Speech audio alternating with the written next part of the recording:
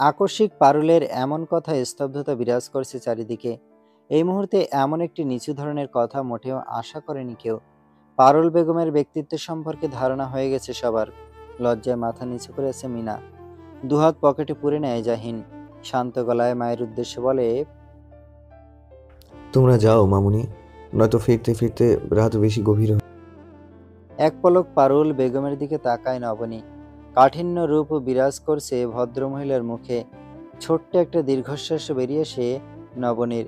মুহতাসলিমের অবশ্য কৈশোর যে কতটা ভয়ানক ছিল তা ভাবতেই গা শিউরে উঠতে এই মহিলার জন্যে যে দুদণ্ড শান্তি পায়নি, তার বলার অপেক্ষা রাখে না। ছেলে যখন নবনীকে এই মুহূর্তে চলে যেতে বলছে, তাহলে এর সমাধান জাহিন ঠিক করবে। পরক্ষণে মিনাকে নিয়ে চলে যায় নবনী। মা ছেলের ভাবভঙ্গি তুষ্ট করতে পারল না পারুলকে। ভেবেছে বড় লোক শ্বশুরবাড়ি মুহুর। এভাবে বললে নেহাত আত্মসম্মানের ভয়েও দু চার হাজার টাকা বেরিয়ে যাবে। কিন্তু বিনিময়ে একরাশ হতাশা পেল কেবল।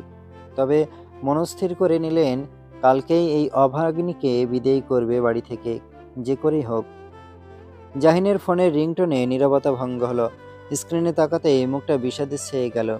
হসপিটাল থেকে ফোন এসেছে, জরুরি ফোন তার বুঝতে বাকি নেই। পরক্ষণে কথা বলে নেয় জাহিন। অতি সত্বর বিদায় নিতে হবে বুঝতেই মুহতাসনিমের ঘরের দিকে এগোয়। যাওয়ার আগে ঘুমন্ত মুহুর মুখ দর্শনের তীব্র ইচ্ছা জাগে মনে। ও ঘুম ভাঙবার মতো কলিজা নিয়ে জন্মায়নি জাহিন। মায়াবতীর ঘুম কখনো ভাঙতে নেই। মুহতাসনিমের মাথায় আছে, বসে আছে মোনা। পাশেই বেঘরে ঘুমোচ্ছে মুহতাসনিম দরজার কাছে দাঁড়িয়ে মৃদু শব্দে মোনাকে ডেকে ওঠে জাহিন। সম্বিত ফিরে পাওয়ার মতো তাকায় মোনা। তড়িৎ গতিতে বেরিয়ে যাওয়ার জন্য পা বাড়াতেই পুনরায় ডেকে ওঠে জাহিন। থমকে দাঁড়ায় মোনা। চোখ তুলে একবার তাকায় জাহিনের পানে। আমি চলে যাচ্ছি এখন। আপনি দয়া করে মোহর খেয়াল রাখবেন। মোহর সাথে কোনো অযত্ন বা কিছু খারাপ হলে আমি কিন্তু তা হজম করব না। জাহিনের কথায় আশ্চর্য দৃষ্টি নিয়ে তাকিয়েছে মোনা। এই অবস্থায় কি করে তার বোনকে ছেড়ে চলে যাওয়ার কথা ভাবলো লোকটা? এতটা নির্দয় কি করে হয় মানুষ? একবার তো মনে হচ্ছে প্রচণ্ড ভালোবাসে, আরেকবার মনে হচ্ছে কেবলই তার দায়িত্ব পালনে অধীনস্থ। ততক্ষণে চলে গেল জাহিন। হাতে তার সময় সীমিত। জীবনের এই পর্যায়ে এসে জাহিন খুব বাজেভাবে উপলব্ধি হলো, ডাক্তারি পেশাটা আসলেই ভালো নয়। যে পেশা কিনা মানুষকে তার ব্যক্তিগত জীবন থেকে সম্পূর্ণ আলাদা করে দেয়, পরিপূর্ণ জীবন দিতে পারে না। ইচ্ছে করছে ছেড়ে দিক এই অভিশপ্ত পেশা। ঘড়িতে রাত দুটো বাজে। সারা দিন পেরিয়ে রাতের দিকে ঘুম ভাঙল মুহতাসনিমের মাথার ভারটা খানিক কম হলেও মস্তিষ্ক তার ফাঁকা লাগছে। পাশে খেয়াল হতেই দেখে ঘুমাচ্ছে মনু। জাহিনের কথা মনে হতেই আশেপাশের চোখ বুলিয়ে নিল। পরক্ষণেই তড়াৎ করে খাট থেকে নেমে বাইরে চলে আসলো। দুবদাব শব্দ পেতেই ঘুম ছুটে যায় মোনার। বোনকে ছুটতে দেখেই পিছু ডাকে ভুপু চলন্ত পা দুটি থেমে যায় মুহতাসলিমের ঘাড় ঘুরিয়ে প্রথমে জিজ্ঞেস করে ভুরু কুঞ্চিত হয়ে আসে মোনার এই রাত বিরাতে তার মুহুপু ডাক্তার খুঁজছে কেন? শরীর কি খারাপ লাগছে তার নাকি আবার শোকে পাগল হয়ে গেল? ভাবতেই কলিজা কেঁপে উঠল মনুর। শুকনো ঢোক গিলে বলল তুই ডাক্তারকে খুঁজছিস কেন আপু? চোখে মুখে বিরক্তির ছাপ মুহতাসলিমের এমনিতে তার মায়ের আচরণ ভালো ছিল না। সবার সামনে কত ছোট করে দিয়েছে তাকে। জাহিনের জন্য মনটা আকুপাকু করে ওঠে। পাশে আবার কিনা শুনিয়ে দিল তাকেও। পরক্ষণে নমুনা আবারও বলছে আপু তোর কি শরীর খারাপ করছে? ফোঁস করে দম ছেড়ে মুহতাসলিম পরক্ষণে বলে ইয়ার কি ভালো লাগছে না মুনা? আমার বোনটা এমনিতেই প্রচণ্ড খারাপ। তোর জিজু কোথায় সেটা বল?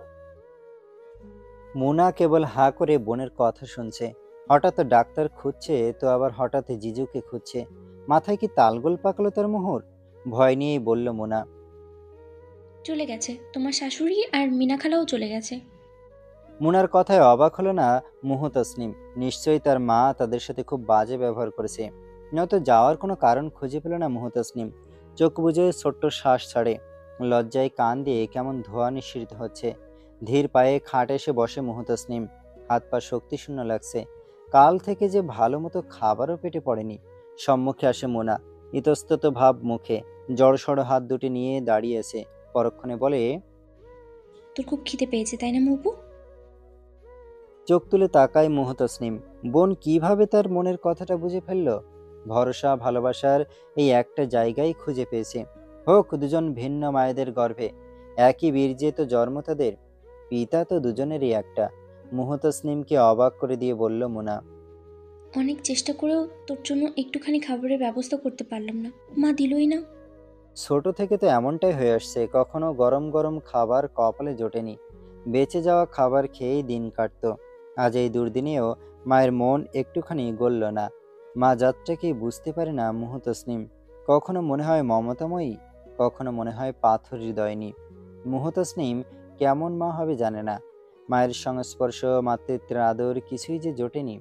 পেটে ঘুটঘুট শব্দ হচ্ছে খিদের মাত্রা বাড়ছে। মনের দহনের তাপে খিদেটা মিয়ে গেল। মিনমিন গলায় বলল মোনা আমিও খাইনি মপু তবুও মা একটুখানি খাবার দিল না। ছোট্ট বোনটার মুখের দিকে তাকাতে পারে না মুহতসনিম বড্ড কষ্ট হয় তার দোষের সাজা বোন পাবে কেন?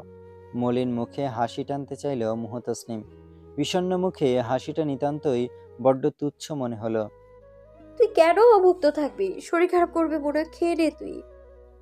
জেদ ধরে বলে মোনা! খাব না মানে খাবোই না। কষ্ট পেলে দুবোন একসাথে পাবো। উঠে দাঁড়ায় মুহতসনিম বোনটাকে বুকে চেপে ধরে। কান্নারা আর বাদ মানেনি। পুরো শরীর কাঁপিয়ে অশ্রুপাত হয়। রাত তিনটে। ঘন আধার কালো আকাশ ঘুম নেই জাহিনের চোখে। হাঁসফাঁস লাগছে কেমন? তার মুহু কি করছে? ঘুম ভেঙেছে তার। একটা কি ফোন করে দেখবে? চঞ্চল আনমনা হয়ে আছে মনটা। বাড়ি ফেরার এত তীব্র তাগিদ আগে কখনো অনুভব করেনি জাহিন। ভেতরের ছটফটানি তাকে দুদণ্ড স্থির থাকতে দিচ্ছে না। এই যে কালকে মেয়েটাকে দিব্যি বুকের মাঝে নিয়ে সান্ত্বনা দিয়েছিল, আজ সে বুকটাই কেমন ফাঁকা লাগছে। অবশ্য পারুল বেগমের জন্য ভয়টা দ্বিগুণ হয় জাহিনের। মহিলাটাকে বিন্দু পরিমাণ সুবিধার লাগেনি। ঘড়ির কাঁটা সকাল আটটায়। ঘর ভর্তি বাজার দেখে চক্ষু চড়কগাছ পারুল বেগমের। এর আগে এত বাজার, সদাই পাতি তার বাড়িতে প্রবেশ করেনি। হিসেব করলে দেখা যাবে দিব্যি ছয় মাস অনায়াসে পার করতে পারবে। এটা যে মুহুর শহুরে জামাইয়ের কাণ্ড বুঝতে বাকি রইল না পারুলের। খুশিতে ভেতরখানা তার গদগদ করে ওঠে। কাল রাতে চালখানা ঠিক চেলেছে ভাবতেই ঠোঁটের কোণে হাসি ফুটে ওঠে। নিশ্চিত মুহু তার জামাইকে কালকে ফোন করে বলেছে সে না খেয়ে আছে। সেই ফলস্বরূপ আজ এই সদাইপাতি বাজারের সাথে একটা খামও আসলো পারুলের কাছে। খামটা তড়িৎ গতিতে খুলে দেখে পারুল। যা ভেবেছিল তাই। টাকা দেখে মাথা ঘুরে পড়ে যাওয়ার পরিক্রম। এতগুলো টাকা সে মোটেও আশা করেনি। এই টাকায় তার সামনের আরও ছয় মাস দিব্যি ভালো চলে যাবে। পরক্ষণে ভাবে, এটা আবার মোহর জন্য পাঠায়নি তো? সে যাই হোক, টাকা তো কখনোই মোহর হাতে হস্তান্তর করবে না পারুল। এতদিনে মনের খায়েশ পূর্ণ হলো পারুলের সোনার ডিম পাড়া হাঁস পেল বলে। লোক দিয়ে বাজারগুলো ভেতরে নেওয়ার ব্যবস্থা করল। সদর দরজায় কর্কশ পুরুষালী কণ্ঠে কেউ বলে উঠল কি পারুল বেগম সংসার তো ভালোই সচ্ছল মনে হচ্ছে। তৎক্ষণাৎ দরজায় তাকাতেই আতকে উঠে পারুল বেগম। স্বগতোক্তি করে বলে জুয়েল মির্জা। গম গম পরিবেশ মুহূর্তে নিস্তব্ধ। আগের কথা বেমালুম ভুলে গিয়েছিল পারুল। এই জন্যই বলে বেশি খুশি হতে নেই পরে দুঃখের ছোঁয়া লাগে। শুকনো ঢোক গিলে পারুল বেগম পরক্ষণে কান্না জড়ানো কণ্ঠে বলে কি সর্বনাশটাই না হইল আমার। আমার মাথার উপরে ছাদটাই চলে গেছে। সব শেষ আমার। আশ্বস্ত কণ্ঠ জুয়েল মির্জার। এত চিন্তা কিসের? আমি তো আছি। মুহূর্তেই ভয়ানকভাবে কেঁপে উঠল পারুল। এই ভয়টাই যে পাচ্ছিল সে সেই ভয়টাই কিনা চেপে ধরল। পুনরায় বলে জুয়েল মির্জা এবার আপনার কথা রাখবার সময় এসেছে। মাথা ভন ভন করে ঘুরছে পারুলের। দুঃসময়ে মাথা প্রায় অকেজো হয়ে গিয়েছিল তার। জোকের বসে ভুলভাল সিদ্ধান্ত নিয়েছিল। এখন তো বুঝতে পারছে সে কতখানি ভুল করেছে। তার মাসুল তো এখন গুনতেই হবে। সব কিছুর জন্যে মুহতাসনিম দায়ী। এই মেয়েটাকে উচিত ছিল কবে জ্যান্ত পুঁতে দেয়া। নয়তো বিষ পান করে মেরে ফেলা। জুয়েল মির্জা ফের বললেন আমি সব বন্দোবস্ত করছি। আটত্রিশ দিন পর আপনার মেয়ে মুহূর্তানিমকে খড়ে তুলব। বুকের মধ্যেখানটা স্যাত করে উঠে পারুলের। নিজের চোখে এখন মেয়ের জীবন শেষ হতে দেখবে। মা হয়ে মেয়েকে আগুনে নিক্ষেপ করে দিল। ভাবতে এই কলিজা কেঁপে ওঠে। মুহুর জন্য আজ তার এই দিন দেখতে হচ্ছে। সবটাই দাঁতে দাঁত চেপে সহ্য করতে হবে এখন। পেটের মেয়েকে বাঁচাতে যে মুখ বুঝে থাকতে হবে। দুপুর নাগাদ বেশ ভালো ভালো খাবারের প্রয়োজন হয়েছে। তাতে অবশ্য মুহতসনিমও সামিল ছিল। মায়ের এমন আচরণে সে বরাবরই অবাক হয়েছে। বেশ খাতির যত্ন করছে পারুল বেগম, যা মুহতসনিম কল্পনায়ও আশা করেনি। মুনা বার কয়েক চোখের পলক ফেলে মায়ের কাণ্ড দেখছে। অবাকে রেশ বুঝি তাকেও ছুঁয়েছে। খাওয়া শেষে মোনা উঠে যেতেই তৎক্ষণাৎ মুহতসনিমের সম্মুখে আসে পারুল। চেপে ধরে মুহতসনিমের হাত, অবাক দৃষ্টি নিয়ে তাকায় মুহতসনিম পারুলের চোখ দুটো কেমন করুণ লাগছে, মুখখানা ফ্যাকাশে। কোনো কি আবদার আছে তার? জিজ্ঞাসু দৃষ্টি মুহুর, তড়িঘড়ি করে শুধু এতটুকু বলল পারুল। জরুরি কথা আছে মুহু, রাতে আমার সাথে সময় করে দেখা করবি। খবরদার, মুনা যেন না জানে। বলে ফের নিজের কাজে ব্যস্ত হয়ে পড়ল। ততক্ষণে হাত ধুয়ে চলে এসেছে মোনা। অজানা এক ভাবনার রাজ্যে ডুবে যায় মুহতসনিম তার মায়ের এমন কর্মকাণ্ডের সাথে পরিচিত নয়। হাত ধরা তো দূরে থাক, ভালো করে তাকিয়ে পর্যন্ত কখনো কথা বলেনি পারুল। সেই পারুল কিছু বলতে চাইছে। তার মানে ব্যাপারখানা সামান্য সামান্য হবে বলে মনে হয় না। তবে বিষয়টা ঠাহর করতে পারল না মুহতসনিম শহরের জ্যাম ঠেলে ঠেলে ফাঁকা রাস্তায় গাড়ি চালাচ্ছে জাহিন। রাত্রি প্রহর এখন। তার যাত্রা উদ্দেশ্য মুহতসলামের বাড়ি। হসপিটাল থেকে লম্বা ছুটি নিয়ে এসেছে জাহিন। জীবনটাকে এভাবে হেলাফেলা করে ফেলে রাখার কোনো প্রশ্নই আসে না। ছুটির জন্য অবশ্য তাকে কাঠখড় পোড়াতে হয়েছে খুব। হাঁটু তুলে জানালার ধারে বসেছে মুহতসনিম পাশে মুনা বসে কত শত কথা বলে যাচ্ছে। বাবার ভাবনায় মুখ ডুবে আছে মুহতসনিমের আকস্মিক এমন মৃত্যুটা যেন মন মানতে পারছে না, ভাবলেই বুকটা ভার হয়ে আসে। নিঃশ্বাস চোখের জল গড়ায় মুহতসনিম অন্ধকার রুম হওয়ায় তা সহজেই দৃষ্টি এড়িয়ে যায় মোনার। এখন কেবল ওনার ঘুমিয়ে যাওয়ার অপেক্ষায় মুহতসনিম তারপর চুপি চুপি মায়ের ঘরে যাবে। হঠাৎ শোয়া থেকে উঠে বসে মোনা, পরক্ষণে বলে আপু, তুই যে এই লোকটাকে বিয়ে করেছিস আমাকে আগে বললি না কেন? জিজুর নাম তো জাহিন, আর তুই আমাকে ফোনে বলেছিলি আতিক। কিছুই বুঝতে পারছি না। কাল থেকে কথাটা জিজ্ঞেস করার ফাঁক ফোকর খুঁজছিল মোনা। বোনের মনের অবস্থা দেখে জিজ্ঞেস করার সাহস করে উঠতে পারছিল না। শান্ত দৃষ্টি নিয়ে তাকিয়েছে মুহতাসনিম কোথা থেকে বলা শুরু করবে? চোখ জোড়া তার টলমল করছে। শুরু থেকে শেষ অবধি সবটাই বলে মোনাকে। তবে আতিকের ব্যক্তিগত পারিবারিক ব্যাপারটা চেপে যায়। আতিকের মৃত্যু এবং পরবর্তীতে জাহিনের সাথে তার বিয়ে অবধি বলে। সবটা শুনে স্তব্ধ হয়ে আছে মোনা। এই জন্যই তো কোনো কিছুতে হিসেবটা কেমন মিল ছিল না। তবে এতদিন তার মুহপু তাকে এই বিষয়টি বলেনি বিধায় খানিক রাগ। নাক টেনে কাঁদছে মোহতাসনিম পারুল বেগম অপেক্ষার অবসান ঘটিয়ে চলে আসেন। দেরি সহ্য হচ্ছিল না তার। এখনও মুহু যায়নি বিধায় নিজেই চলে আসে। দু বোনকে কথা বলতে দেখে রাগে গা ফেটে পড়ার উপক্রম। দরজায় দাঁড়িয়ে শক্ত কণ্ঠে মুহুকে ডাকে পারুল বেগম। মুহু আমার রুমে আয় একটু। অন্ধকারে মায়ের কণ্ঠ চিনতে তার ভুল হয় না। তড়াৎ করে খাট থেকে নেমে মোনার উদ্দেশ্যে বলে তুই ঘুমাবো না আমি আস- মুহূর্তের মধ্যে সবটা ঘটে যায়। মায়ের হঠাৎ আগমনে অবাক হয় মোনা। তার মুহুপুর সাথেই বা কি বলবে মা? ব্যাপারখানা ভাববার মতোই। তড়িৎ গতিতে মায়ের রুমের সামনে যায় মোনা। ততক্ষণে ভেতর থেকে দরজা লক করা। ভয়ে সর্বাঙ্গ কেঁপে ওঠে মোনার। আড়ি পেতে দাঁড়িয়ে থাকে বেশ খানিকক্ষণ সময়।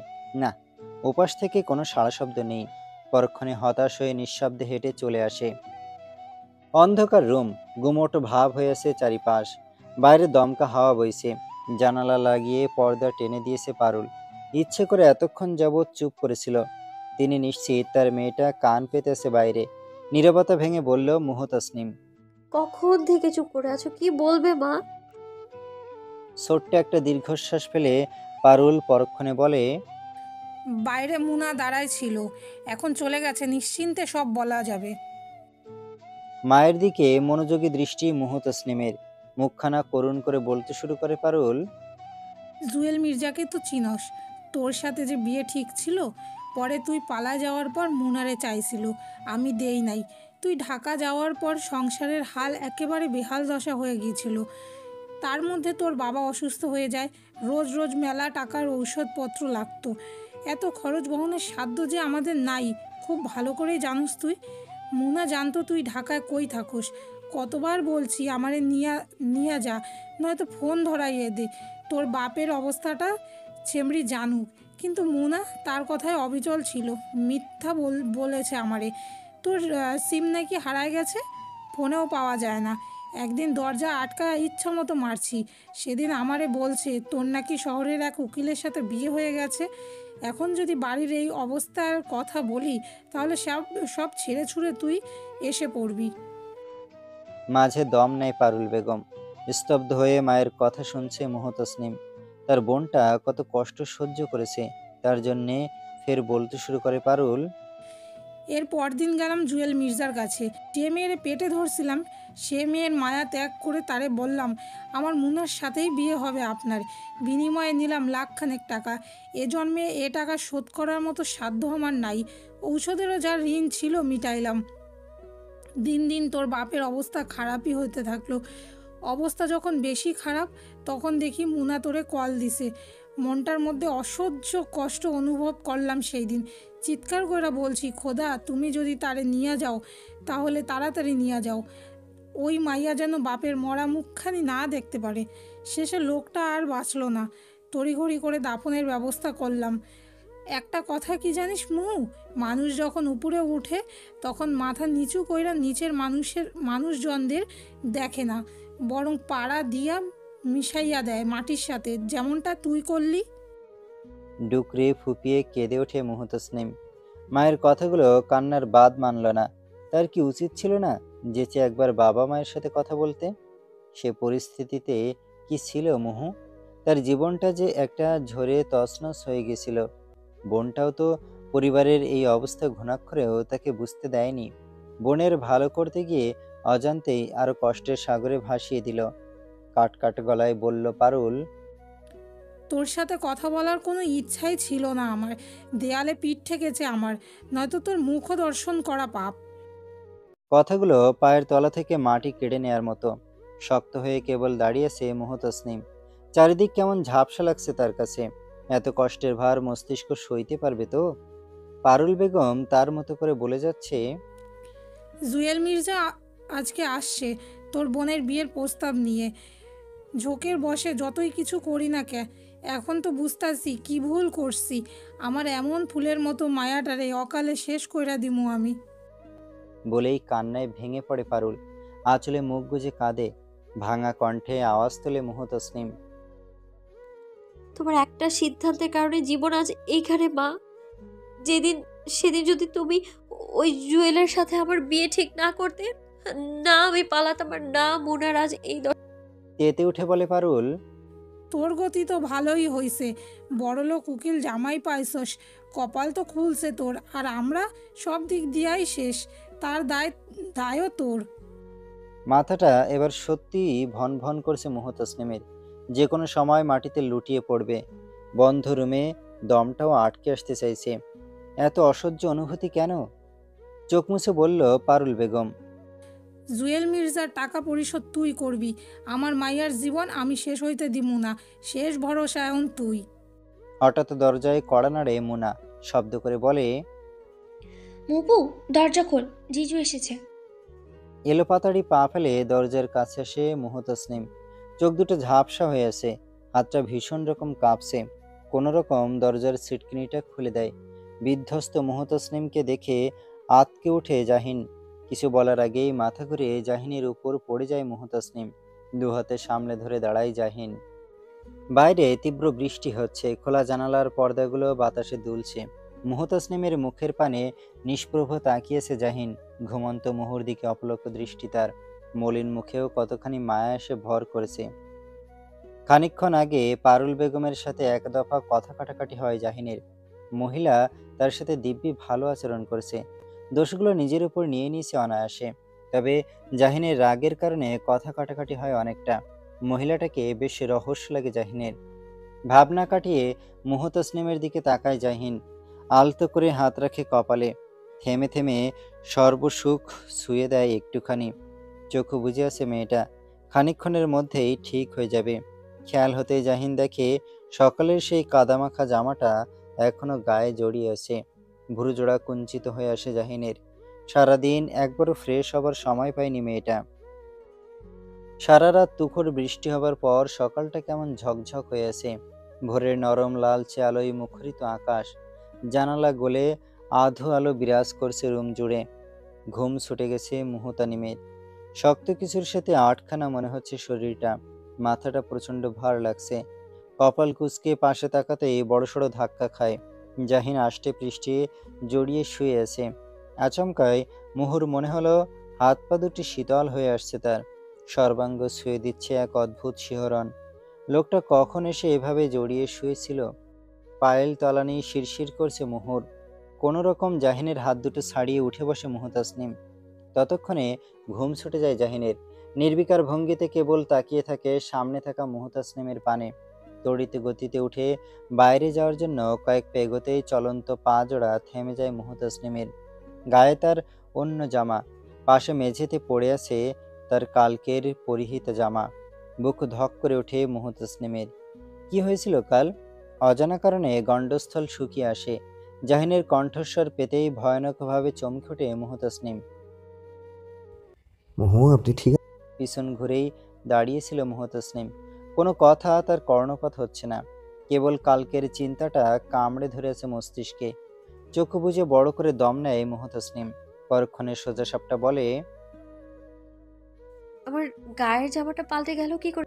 জাহিন যেন এই প্রশ্নটার অপেক্ষাতেই ছিল। মুহু এতক্ষণ যাবৎ বিব্রত বোধ করছে কেবল এই বলে জাহিন পাল্টে দিয়েছি। ভয়ানকভাবে শরীর এই ভয়টাই তো গ্রাস হয়ে এভাবে তো মানুষের সুযোগ এর জাহিন জামাটা নোংরা ছিল ওপাশে আপনার বোনকে রেখে আনার মতো মানসিক ছিল আপনার ব্যাগ থেকে জামা নিয়ে পাল্টে দিয়েছি। স্বামী হিসেবে এতটুকু পড়া কোথায় আমার অন্য কিছু হয়নি। আপনি স্বাভাবিক হলে ভালো। কাটকাটি গলায় বলল মহতাসনি আপনি অবশ্যই অন্যায় করেছেন ডক্টর সাহেব। ঘোর অন্যায় করেছেন আপনি কপাল কুচকে সে জাহিনের এরূপ কেন বলছে এখন অব্দি কোনো কিছুতে জোর করেনি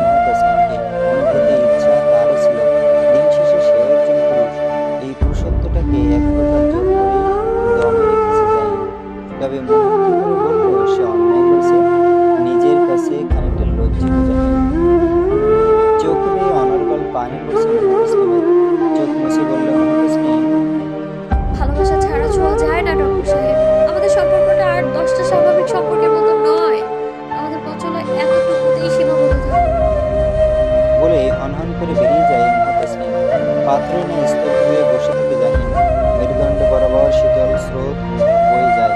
কি গেল তার মুহূর্তে সম্পর্ক এতটুকুতে সীমাবদ্ধ? না, এই জীবনে মোহকে ছাড়া আর চলবে কি করে? মেয়ের জামাই এসেছে, সেই সুবাদে সকাল সকাল নানা খাবারের আয়োজন করেছে পারুল। শত হোক, মেয়ের জামাইয়ের টাকায় করা বাজারপাতি। ত্রুটি তো কোনো মতে রাখা যাবে না। ফ্রেশ হয়ে খাবার রুমে আসে মুহতাসনিম মুনা ছুটে এসে বোনের কপাল গালে হাত বুলিয়ে নেয়। চিন্তিত গলায় বলে অপু ঠিক আছিস তুই? মলিন হেসে মাথা ঝাঁকিয়ে হ্যাঁ বলে মুহতাসনিম পারুল বেগম খাবার বাড়তে বাড়তে বলেন জামাই কি উঠে নাই এখনও? কালকে রাতে কি হয়েছে যে এমন মাথা ঘুইরা পইরা গেলি? জামাই বাবা যে রাগ হয়েছিল ভয়ে তো শেষ আমি। অনেক জোর করেছি। বলল খাবে না।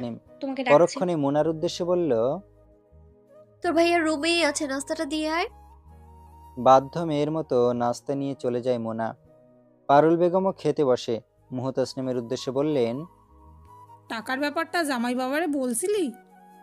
মেঝেতে স্থির দৃষ্টি নিয়ে বলে মুহতাসনিম টাকার কথা আমি কোনোদিনও তাকে বলতে পারব না মা। সবকিছু করতে বা বলতে একটা অধিকার থাকা দরকার। যাই হোক এর জন্য বিকল্প উপায় আমি ভেবে রেখেছি। চোখ মুখ কুচকে বলে পারুল টাকা ছাড়া তো আমার মুনারে নিয়ে চলে যাবে জুয়েল। তো তোরে এত কইরা বললাম কালকে আসলে সৎ তো সতই থাকে আপন হয় না কোনো দিনও নির্বিকার ভঙ্গিতে বলে মুহতসনিম জুয়েল মির্জাকে আমিই বিয়ে করে নিব মা। তোমার আচমকা বজ্রের মতো চমকে ওঠে পারুল কানে কি কিছু ভুল শুনল? অমন উকিল জামাই রেখে অর্ধবয়সী জুয়েলকে কেন বিয়ে করতে চাইছে মোহু? সন্ধি এটা কি তোর জামাই মানাবো? নাকি বনিবনা নাই তোদের মাঝে? আমার তো কিছুই ভালো মনে হইতাছে না। কোনো কথার তোয়াক্কা না করে বলে তুমি শুধু প্রস্তাবটা রাখো জুয়েল মির্জার কাছে বাকিটা আমাকে জানিও। তুই তো বিবাহিতা এখন। জুয়েল যদি রাজি না হয় তোরে তোরে বিয়া করতে? দৃষ্টিতে রাগ নিয়ে তাকায় মুহতসনিম তেজি কণ্ঠে বলে তার তো এক বড় একটা মেয়ে আছে সেও বিবাহিত। এমন তো নয় যে জুয়েল অবিবাহিত ছেলে বরং সে বিবাহিত অর্ধবয়সী একটা পুরুষ। খাবার থালাটা নিয়ে পুনরায় ফিরে আসে মোনা। পাশে চমকে তাকায় মুহতসনিম খাবারের প্লেটে দৃষ্টি রেখে বলে ডক্টর খায়নি? মুনা দুদিকে মাথা নেড়ে না বলে পরক্ষণে বলে মুনার হাত থেকে খাবার প্লেট নিয়ে উপরের ঘরের দিকে এগোয় মুহতসনিম জানালার বাইরে নিশ্চুপ তাকিয়েছে জাহিন। ভেতরটা আজ সত্যি ভেঙে চুরমার। এই কদিনে মুহতসনিম তাকে একটুও বুঝলো না। নাস্তা খেলেন না কেন? মুহতসনিমের কথায় সম্বিত ফিরে তাকায় জাহিন। ছোট্ট একটা দীর্ঘশ্বাস ফেলে বলে খানিকক্ষণ চুপ থেকে বলে মুহতসনিম ডেকেছিলেন আমায়? ঘুরে মুহতসনিমের চোখের দিকে তাকায় জাহিন। চোখ দুটি ঈষৎ লালচে হয়ে আছে জাহিনের। মলিন মুখখানিতে চক্ষুজোড়া নিষ্প্রভ হয়ে তাকিয়েছে। ও চোখে তাকাতে পারে না মুহতসনিম ভেতরে কেমন তোলপাড় বইয়ে দেয়। অভ্যস্ত কোনো কিছু কি লুকায়িত ওই চক্ষু জোড়ায় আদৌ সে চোখের ভাষা বুঝতে চেষ্টা করছে মুহতসনিম নীরবতা ভেঙে জাহিন বলে সম্পর্ক সবসময় ভালো হয় না, মোহ। শেষে আমার কথাটা মিলল না। নিজের কথাই নিজেই তো হেরে চুপচাপ কেবল তাকিয়েছে মুহতসনিম খানিকক্ষণ আগে কত বড় সিদ্ধান্তটা নিয়ে এসেছে। আদৌ ঠিক করেছে কিনা জানা নেই। একবার কি জাহিনের অনুমতি নেওয়ার প্রয়োজন ছিল? যে লোক সম্পর্কের মূল্য দিতে জানে না, ভালোবাসা বোঝে না, তার থেকে দূরে চলে আসাটাই সমীচীন। কণ্ঠ ধরে এসেছে জাহিনের। কম্পিত কণ্ঠ নিয়ে বলল আমার জীবনের ছোট্ট একটা গল্প আছে মোহ। আপনি কি শুনবেন? কতদিনের অজানা অনেক প্রশ্ন তার উত্তর জানতে যেন মরিয়া হয়ে ওঠে মুহতসনিম তৎক্ষণাৎ বলে হ্যাঁ বলুন। শান্ত নির্বিকার ভঙ্গিতে বলে জাহিন খুব ছোটবেলায় বাবাকে হারিয়েছি। তবে আমার বাবা কিন্তু মারা যায়নি। মামুনের সাথে বাবার পরিচয় অনেক আগে থেকেই ছিল। ভালোবেসে বিয়ে বলতে পারেন তবে সেটা ক্ষণিকের পরিচয় মাত্র বলা চলে। বিয়ের কয়েক মাস হতেই বাবার ব্যস্ততা বাড়তে থাকে প্রচুর। আমার বাবা একজন নিষ্ঠাবান এবং দায়িত্বপরায়ণ ডাক্তার ছিলেন। উনি একজন নিউরো আচ্ছা উনি একজন নিউরোসার্জন, অধ্যক্ষ ডাক্তার জয় চৌধুরী। এখনও বেশ খ্যাতি আছে ভদ্রলোকের। বিয়ের এক বছরের মাথায় যখন আমার জন্ম হয় তখন বাবার ব্যস্ততা তখনও কাটেনি। সদ্য ভূমিষ্ঠ হওয়া সন্তানের মুখ তিনি দেখতে আসলেন না। আমার যখন ছয় মাস তখন বাবা প্রথম দেখতে আসেন আমাকে। এবং সেদিনই আমার মাকে বলে, আমার মনে হয় এই সম্পর্কে থাকাটা আমাদের উচিত নয়। তুমি স্বাভাবিক জীবন পাচ্ছ না নবনী? তার চেয়ে ভালো তুমি ভালো কাউকে দেখে বিয়ে করে নাও। আর আমার পরিচিত অনেক নিঃসন্তান দম্পতি আছে, যে কাউকে বললেই জাহিনকে অ্যাডাপ্ট করে নেবে। স্তব্ধ হয়ে জাহিনের কথা শুনছে মুহতসনিম কি হয়েছিল ছোট্ট জাহিনের সাথে? চোখের কোণা চিকচিক করছে জাহিনের। চোখ মুছে ফের বলে মামনি ভেবেছিল বাবা বুঝি অন্য কারোর সাথে সম্পর্কে জড়িয়ে গেছে, কিন্তু তেমন কিছুই ছিল না। ইতিহাস পড়েছেন মোহ। বহু মানুষ নিজের জীবনের তোয়াক্কা না করে অন্যদের সেবায় বিলিয়ে দিয়েছে নিজেকে। কোনো পিছুটান তাদের আটকাতে পারেনি। তেমনই আমার বাবার লক্ষ্য ছিল, এমন কিছুই। মাঝে আবেগে জড়িয়ে আমার মামুনির সাথে সম্পর্কে জড়িয়ে যায়, তবুও থেকে যাওয়ার আপ্রাণ চেষ্টা করছিল মামুনি বাবা এক সময় পুরোপুরি যোগাযোগ বিচ্ছিন্ন করে দেয়। আমার যখন চার বছর, তখন সব ছেড়ে ছুটে চলে আসে মামুনি এরপর থেকে দ্বিতীয়বার আর কারোর সাথে সম্পর্কে জড়াইনি। আমাকে নিয়েই এতটা পথ চলেছে। মুহতসনিম ভাবছে পেশা একজন ডাক্তার বলে পরিবার পরিজনদের সময় দেওয়া এতটাই দুষ্কর? কই, দেশে তো বহু ডাক্তার আছে। তাদের কি পরিবার, সংসার, সন্ততি নেই? তবে জাহিনের বাবার ভাবনাটা এমন কেন ছিল? ভাঙা কণ্ঠে বলে, জাহিন ভালোবাসা নিঃস্বার্থ কে বলে মোহ। স্বার্থ ছাড়া কেউ ভালোবাসে না। মায়া বড্ড অদ্ভুত মোহ। মায়া ত্যাগ করা যায় না। এই যে আমার বাবার পেশাটার প্রতি এতই মায়া যে তিনি জগৎ সংসার সব ছেড়ে ছুড়ে চলে গেছেন। তবে সংসারের মায়া এবার বুঝি বেঁধে দিল তাকে। শুনেছি কয়েক বছর আগে বিয়ে করেছেন ভদ্রলোক। তারপর আর জানি। মুহতাসনিম কিছু বলার আগেই জাহিন বলল ভাববেন তা আমি এমন মোহ।